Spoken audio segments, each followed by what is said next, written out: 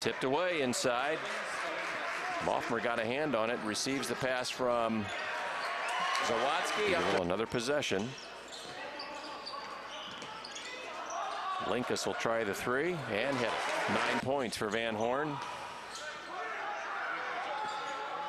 Three-pointer right corner is put up and in the key. Fakes it, ball tipped away, and they lead it up to Maughmer from Green. He will jam it home. Top of the key, fakes it, ball tipped away, and they lead it up to Maughmer from Green. He will jam it home. Green from outside the arc. And just 33% overall. Give and go. Van Horn from Zawatsky. As much as eight points this half. Kentucky Wesleyan is led by as many as seven. Handed off nicely from Zawatsky to Way there. I thought he'd call a walk on him there. Three-pointer Green. Told you. From near side. Green off a screen. Really nowhere to go with it. Throws it at the rim. No, and chases it down.